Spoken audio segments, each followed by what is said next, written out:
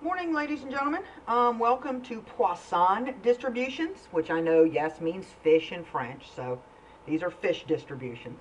Um, we're going to look at these um, from a couple of different ways, but I want to show you how to calculate these on Excel. Remember that you know that you have a Poisson distribution when the probability of an occurrence or something happening is extremely small. Poisson distributions are the probability of the improbable. Um, in this case, you have a probability of a recording error on a billing of 0.005, which is extremely small. The other thing is that the problem says the probability of a billing error is constant from one billing to the next. And so that's one of the other characteristics of a Poisson, is that the expected number of occurrences has to hold constant from one event to the other inside of the experiment. So, um, the first thing that we have to do in order to calculate a Poisson distribution is we have to find the long run average. The long run average is denoted by the Greek letter lambda, um, or in some charts it's simply shown as mu or the mean because lambda and the mean in a Poisson distribution are the same thing. So what I have here is fundamentally if lambda or the mean is not given to you, then you're going to do it just like you find the mean of a binomial. I'm going to take the number of billings times the probability that there's an error in any one billing. I'm going to multiply it together and it's going to give me a lambda of 5. So simply 1,000 times 0.005 equals 5. So all I need to know is a value for the mean, mu, lambda, whatever they're going to refer to it as. And then I need to see over here, what's the probability that fewer than four billings contain an error? So I'm going to, what I know is I'm looking for the probability of less than four errors. All right, so I'm going to start with coming back up here to my function, insert function. I can come back down here, remember, and use statistical, and it gives me the entire list. So I can scroll down, scroll down until I see Poisson. And it basically shows, returns the Poisson distribution. This is going to work a lot the same way that we did the binomials. I'm going to click OK, and it's going to give me this nifty um, dialog box again. So I'm looking for x.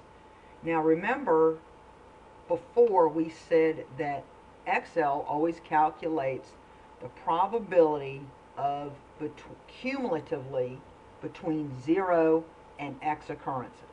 So fewer than 4 billings, fewer than 4, means what's the probability that three, two, one, or 0 have no errors.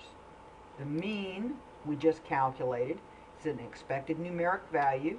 Just calculated it up here to be 5. And again, we have one of two options. One of two options for our cumulative or our logic value. And those two options are true or false. When I'm looking for a range, such as 0, 1, 2, or 3, I'm going to type true. Right? Um, I'm going to type true. If I was looking for an individual, an individual um, probability for a one number, then it would be false. I'm going to come down here and click OK, and it tells me that the probability that there are less than four errors is 0.265026. You could round that just to 0.265. Um, but there's your answer. So let's look at the next one. The next one says, what is the probability that more, that more than 10 billings contain an error? Right. So I'm looking for probability more than 10. So, come back down here, go back up to my function box. Now remember the other way that I can do this is I can search for a function, just back over that and start typing in P-O-I-S-S-O-N, hit go, and there it is. So it says for the Poisson, so I'm going to say okay. Now it's going to ask me the same thing. I have to think for a minute about what am I looking for. More than 10. Well, remember that more than 10 is going to be 11 and up. So here I'm going to say, what is, remember, Excel gives me the probability from 0 to x, from 0 to x. So if I want from 11 up, then from 0 to 10 will give will leave me the 11 and up. The mean is still 5.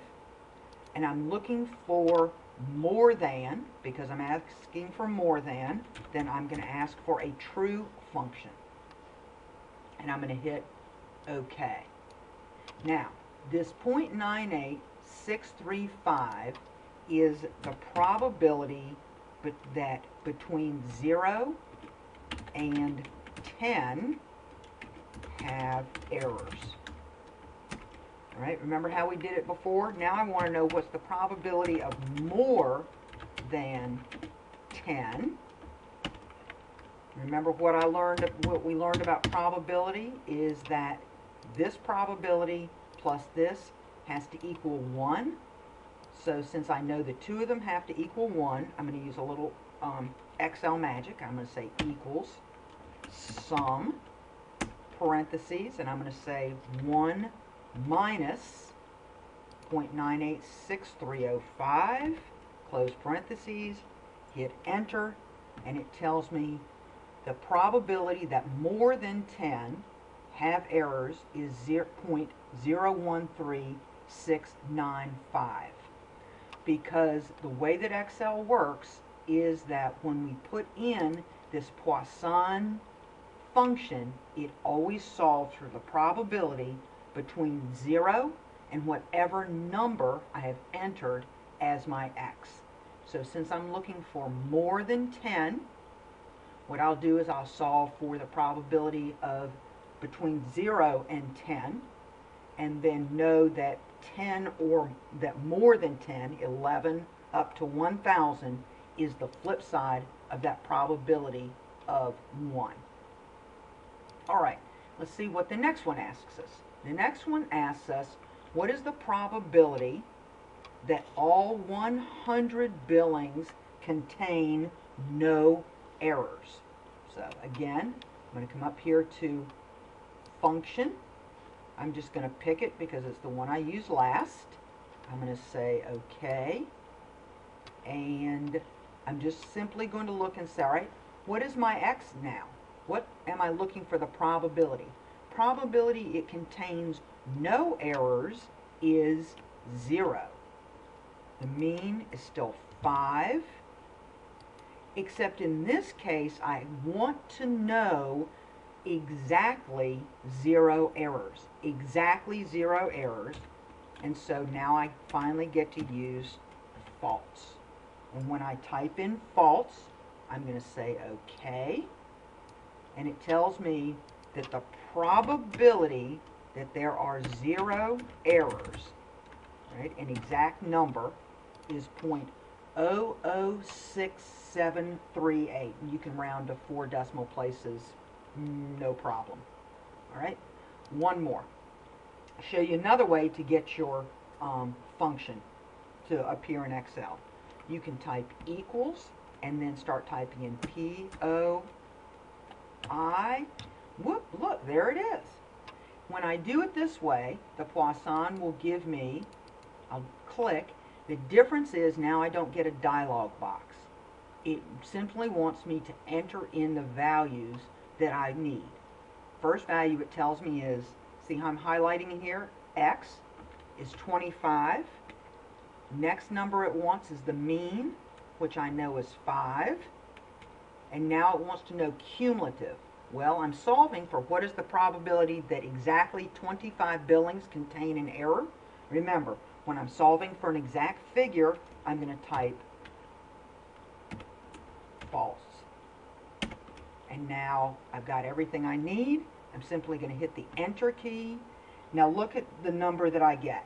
Remember what I said before about there being these weird numbers that are e minus 10? Remember, in order to make that go away, we're going to right click. I'm going to come way down here and I'm going to say Format Cells. I'm going to come over here and I'm going to go to Number. And I'm going to start increasing the number of decimal places. And I'm probably going to have to go 10 before I get anything. 6, 7, 8, 9, 10. See where that E minus 10? What it's telling you is there are 10 zeros between the decimal point and the first digit that appears, which is going to be a 1. So what should happen is if I keep going, I should end up with now 1, 2, 9, 4, 5, 9 as I keep going. And it requires me to take it out 15 decimal places. So that's what that little e minus 10 is saying. Hey, there are 10 zeros that really belong in front of this decimal point before you get to that 1. I'm going to click OK. There's my probability. See what I mean about being the probability of the improbable? The probability that 25 billings contain an error when the probability that any one billing contains an error is only 0.005 is, let's just say, I wouldn't put your money on it. So, um, Poissons work a lot like the binomials in terms of how to solve them with Excel. You could have done this using the formula for a Poisson distribution, or you could have used the tables that are provided to you in the back of your text. So, hope this helps, and I will see you guys uh, around the classroom or Blackboard. Have a great day.